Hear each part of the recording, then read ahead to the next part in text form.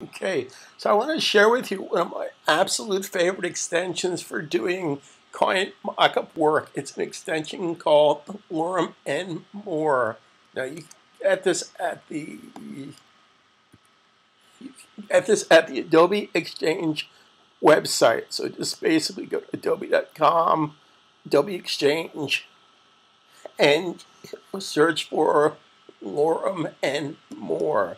What this does, it's a free extension download, enables you to put Ipsum Lorem into your website. Now it's very sophisticated because it does things with paragraphs, etc., etc. So let me show you how it works. Okay, so we're back in Dreamweaver. I want to fill this section here with some content. In fact, branding, I'm not going to fill branding as we're a logo. I'm going to put a graphic and stuff there, so we're just going to leave that the way it is. Now for the main content, I'm going to double click here. I'm going to go to insert, and down here on the bottom here is something called Lorem and More. Where did it go? I didn't put it there. Oh, there it is. I didn't see it. My mistake. Okay. Now, what this extension does here, you can put Ipsum Lorem, you can put corporate mumbo jumbo. So in this particular case, I just want to put some dummy placeholder text. Now, this is a good technique to get into because you don't you want to put content for proofing purposes. You just want the client okay the layout, the design, the spacing, the color scheme, etc. You don't want to be you don't want them to sit there and read the copy. We're not at that point yet. So put a language that you don't understand. This is a Latin text. I don't speak Latin. If you speak Latin, then pick Portuguese. If you speak Portuguese, then pick pick uh, pick Greek. And if you speak Greek, then uh, I feel sorry for you. Just kidding. Anyway, so we're going to put in here Ipsum War. We're going to create five paragraphs. So it's going to put five paragraphs of text just like that. How cool is that? Simple, simple, simple. Okay. So let's fill this paragraph H1 tag command 1. Now, I already have a rule for an H1 tag in our starter page. So I just want to share with you how simple it is to put content in here. Let's do the same thing for our news bar. Let's hit the return key. Let's go back to insert. Let's go down to Ipsum Forum. And let's fill this with uh, let's fill this with Shakespeare. Now, I want to keep it simple. Let's just let's fill this with four paragraphs of space and hit the OK button. So I just want to get some content in here. Okay, I'm just doing this to get content. Now, in this particular case, I probably don't want that much content right now.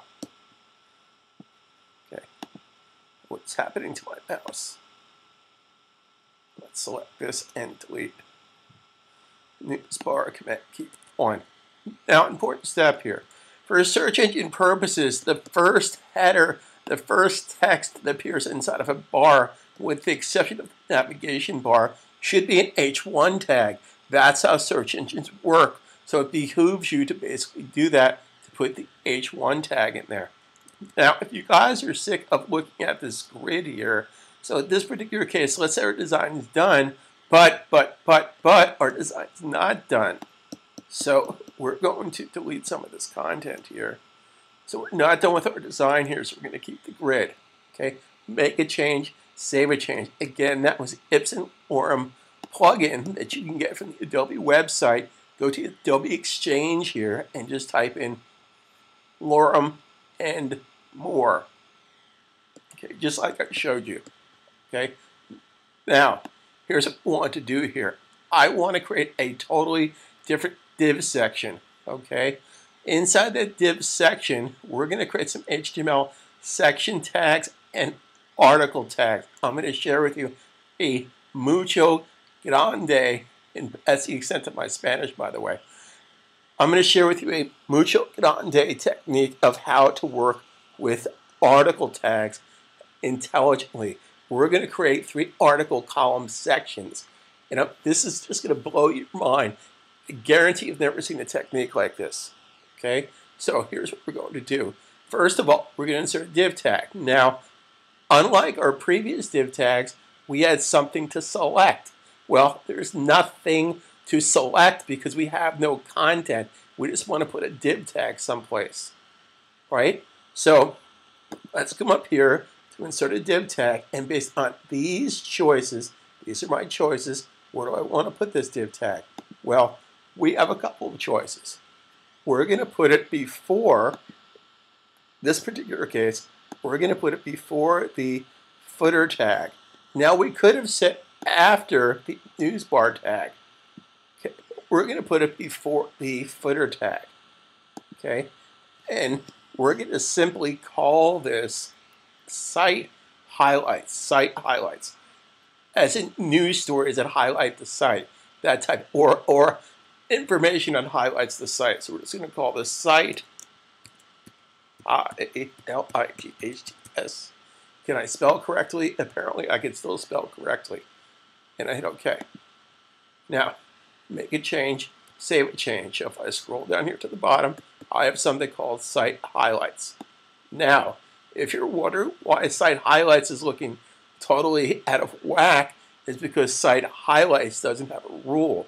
More specifically, similar to footer, it needs to clear floats above it. So let's do that. Okay, so let's select the tag. Let's put this over here right here. So let's select the tag and make a rule. In order to affect the tag, select the tag. Okay, simple, simple, simple. So site highlights. Let's see what we have in store for site highlights. Tell them what the Johnny, tell them what they've won. Okay, so based on these choices here, site highlights under category A box needs to clear, similar to how we did the footer, it needs to clear the left float and the right float. So I get that happening. Now a site highlights goes on the bottom. Okay, now here's the super cool part. What I want to do here is I want to have a section tag. So if you know anything about how I work, I don't like to reinvent the wheel here. So I'm going to type section.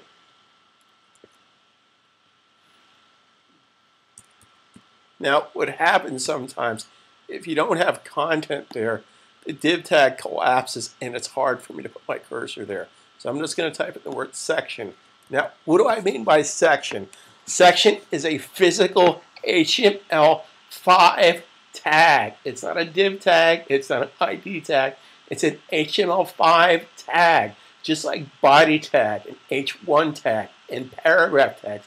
These are physically defined HTML5 tags called section. Not sections, section. Okay, then we're going to have a series of article tags. So I'm going to type in the word article.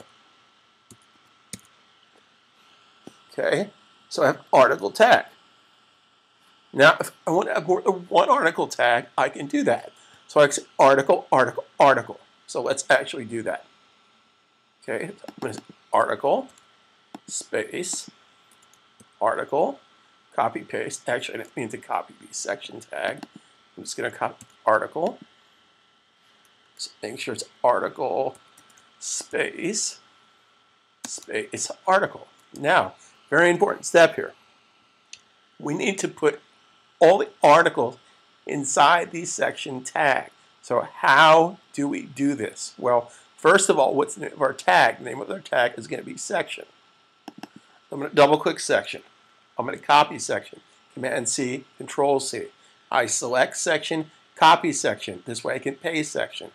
Okay, now in order to affect this content, I need to select this content. Okay, now again, this is not a div tag, so we're not going up here to insert div.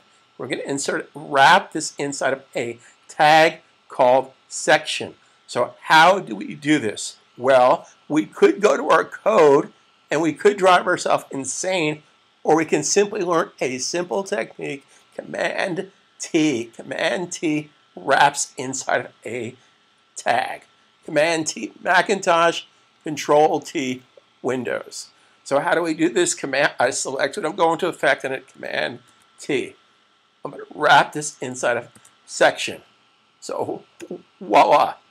Okay. So if I save that, you will now see that article is outside of section. Okay? Articles inside of section. Now, everything right now is inside of section.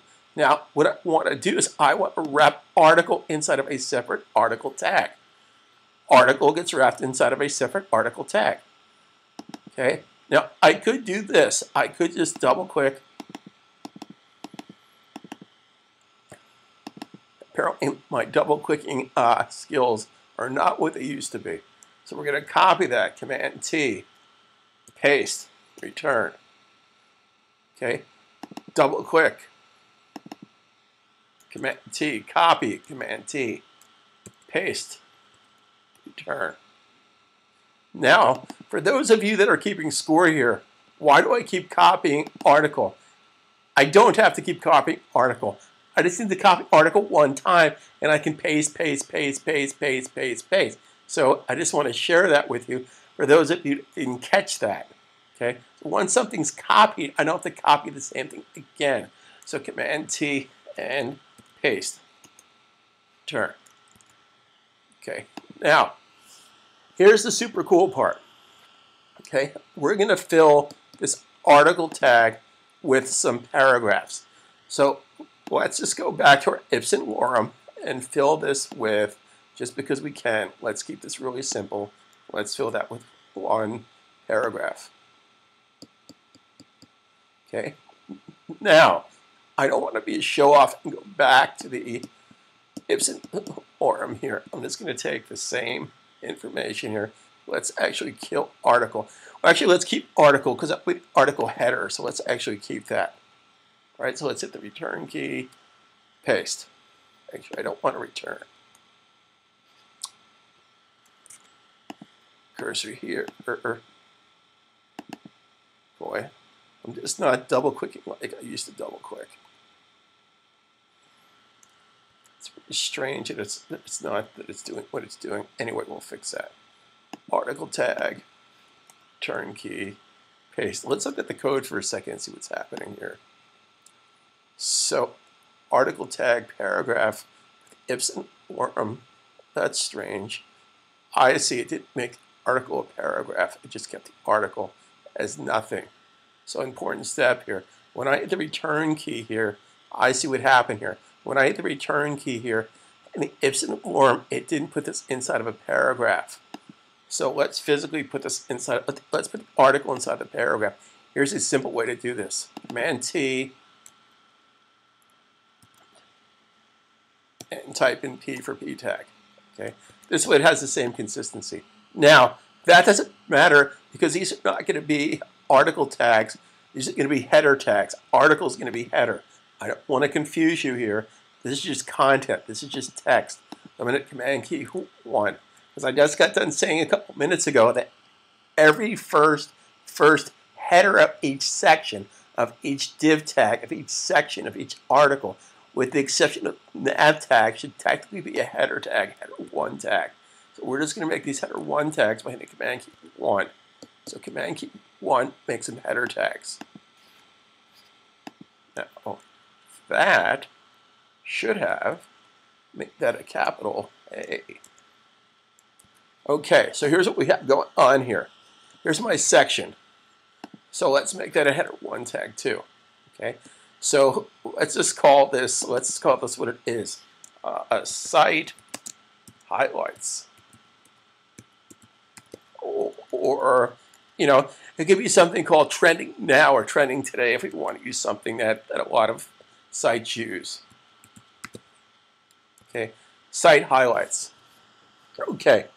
Now, again, for search engine purposes, the beginning of each article, the beginning of each div tag should technically be an H1 tag. Now, the H1 tag doesn't have to be that particular size. So as an example, if we double click our H1 tag, we can see that we set that to 1.6 M spaces. Okay, so let's make an H1 tag when H1 is inside article. Let's make it 1.4 m spaces. For those of you don't, don't know this, m spaces equal to the height of the letter M, of a capital M. So my body copy was set to 10 pixels, 1.6 m. For those who slept through fourth math class, 1.6 m space is 16 pixels, so it's a relative space. So we're going to make this H1 tag, in this particular case, be 1.4 M spaces. So it'll be slightly smaller. It'll be slightly smaller than the original, which is this guy here. So it's, it's still an H1 tag for search engine purposes, okay? So this should technically go in the section tag, which is after the news bar tag. Okay, now here's my objective. Here's the super, super, super, super, super, super, super cool part. I want to make these article tags. Now, notice I didn't get the article tags IDs because I, what I want to accomplish here, I don't have to because I want to talk to them all the same way. So here's what I want to do here. I want to create a rule article when article is inside of section. Well, technically, article is inside of section. So how do I create a rule for article articles inside of section? I simply select the tag, select the tag, make a rule. Select the tag, make a rule. In order to affect the tag, I select the tag. Again, see down here, guys, this is the path to those tags. This is the exact path to the tags, whatever you select. So understand something. If I select this, that's different path than selecting this, which is different path than selecting this. So in order to affect something, I need to select something. So I'm going to select article tag. Dreamweaver will do the work for me. So I don't need to be this specific. I just want to do this. Now, if this helps,